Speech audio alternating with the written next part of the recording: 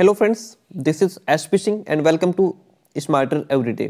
Dear friends, CCS university यानी कि चौधरी चरण सिंह यूनिवर्सिटी जो मेरठ की है उसमें बीएड सेकेंड ईयर में आपके छह सब्जेक्ट हैं है ना पहला है creating an inclusive school gender school and society knowledge language and curriculum work education Gandhi ji के नई तालीम वाला उसके बाद असेसमेंट फॉर लर्निंग आता है लास्ट में आपका एक आपका ऑप्शनल सब्जेक्ट यानी कि पर्यावरण शिक्षा होता है। इसमें जो पेपर फ़र्स्ट है आपका क्रिएटिंग एन इंक्लूसिव स्कूल समावेशी विद्यालय का सृजन। यहाँ से किस प्रकार से क्वेश्चंस पूछे जा सकते हैं कौन कौन से क्वेश्चंस आपके लिए इंपॉर्टेंट हैं, आज हम इसी पॉइंट पर बात करने वाले हैं, ठीक है? तो अगर आप इस क्लास को ठीक से प्यार देंगे लाइक करेंगे कमेंट करेंगे तो हम और भी इंपॉर्टेंट क्वेश्चंस आपके लिए लेकर आएँगे। और आप ये क्लासेस भी कंटिन्यू करने वाले हैं। हालाँकि अब तक कानपुर यूनिवर्सिटी को टारगेट करते हुए बीएड सेकेंडरी क्लासेस चल रही थी। लेकिन अगर आप लोग कहेंगे तो सीसीएस की भी क्लासेस कंटिन्यू कर दी जाएँगी। तो आज हम जो आपका समावेशी विद्यालय का सृजन है, इसके कौन कौन से इंपॉर्टेंट क्वेश्चंस हैं, जो प्रीवियस ईयर में ज़्यादा से ज़्यादा पूछे गए हैं, उनको हम डिस्कस कर लेते हैं। देखिए। देखिए, आपके पेपर का नाम ही समावेशी विद्यालय का सृजन है। यानी कि क्वेश्चंस आपके ज़्यादातर बनेंगे समावेशी शिक्षा से। तो समावेशी शिक्षा का अर्थ, समावेशी शिक्षा के क्या उद्देश्य होते हैं, समावेशी शिक्षा की क्या आवश्यकता है और समावेशी शिक्षा के सिद्धांत क्या है? यह आप बहुत अच्छे से पढ़ करके या यूँ कहें कि रट करके जाएँगे।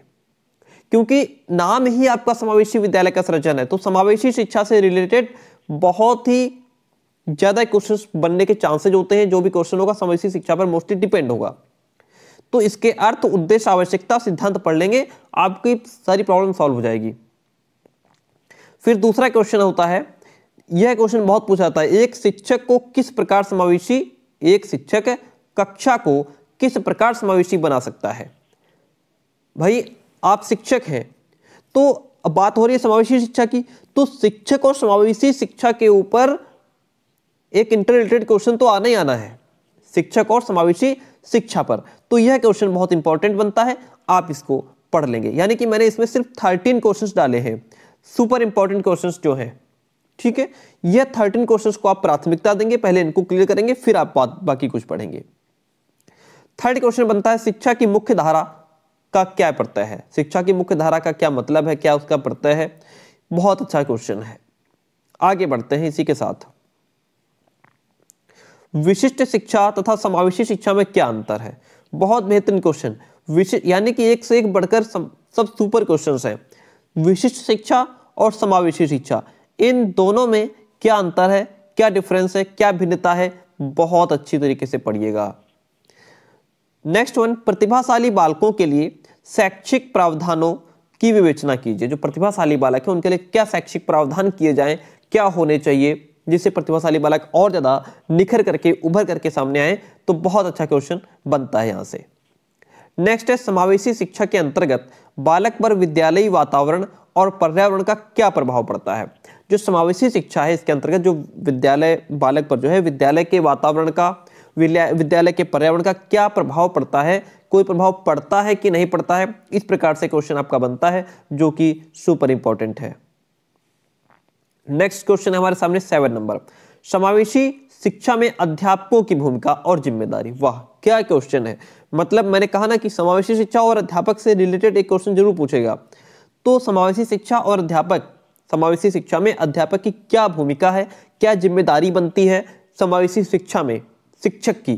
तो बहुत इंपॉर्टेंट क्वेश्चन आगे बढ़ते हैं। यह क्वेश्चन दो तीन बार पूछा गया है, सहकारी या यूँ कहें कि सहयोगी अधिगम क्या है?